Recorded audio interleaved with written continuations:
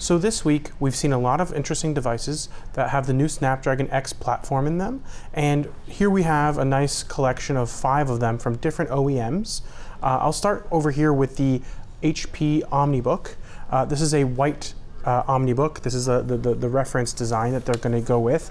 Uh, what's interesting about this device and all of these devices, they're running Copilot Plus. So they've got this dedicated Copilot button.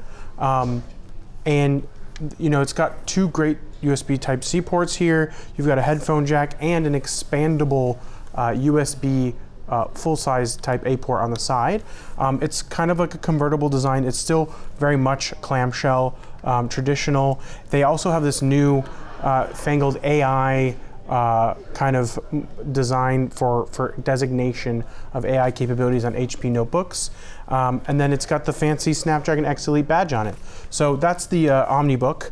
Um, this will be available June 18th, just like all of these will be. Um, and then we can move over to the Samsung. Uh, this is the, the big boy. Uh, it's a 16 inch. Uh, it's extremely thin, uh, has an OLED display, uses the dynamic OLED uh, technology from Samsung. Also got the nice Snapdragon badge over here. Huge touchpad, like gigantic. Uh, still really thin, and you've got the uh, headphone jack. Uh, you've got the USB port, um, and, and you also have a, a, memory card reader. And on this side, you've got dual USB-C ports and a HDMI port. So you've got all the connectivity you would ever want and need.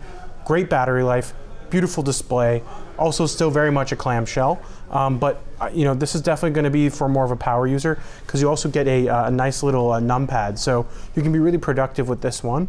Uh, and then this is the Surface laptop. This also Snapdragon X Elite design. Um, you've got your, your typical USB Type A, headphone jack, two USB-C ports, uh, a, a, decent sized touchpad for a 13-inch notebook, uh, and you've got your, your Surface charging port, uh, which is the proprietary Microsoft port.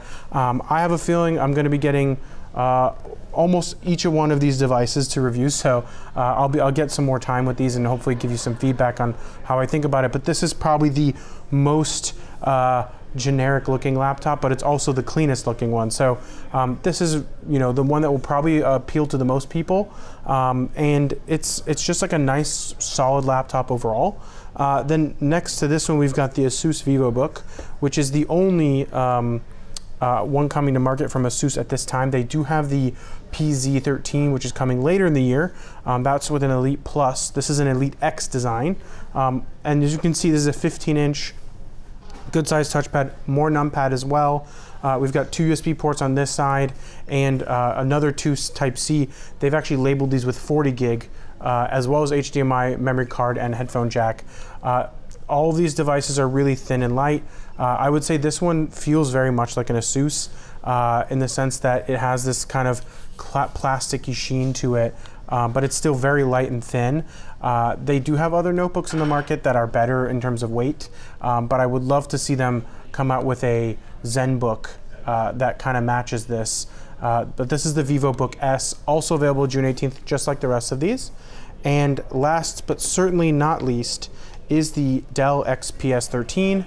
Um, this I think is the first one that I touched uh, at the Microsoft event uh, in Redmond. Uh, it's a XPS 13. It's got this really beautiful keyboard on it. Uh, it's super clean. Uh, no, no top row buttons are all capacitive.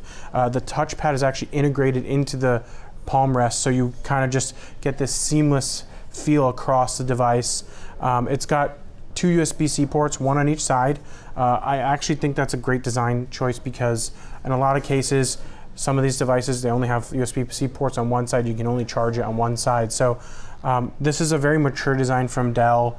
Uh, this is also going to be one of the ones that will have some of the best battery life. Um, but across the entire Snapdragon X Elite portfolio, uh, including the ones that are not pictured here, um, you're going to get great battery life and a really good AI experience with Copilot Plus, and they will all be available June 18th.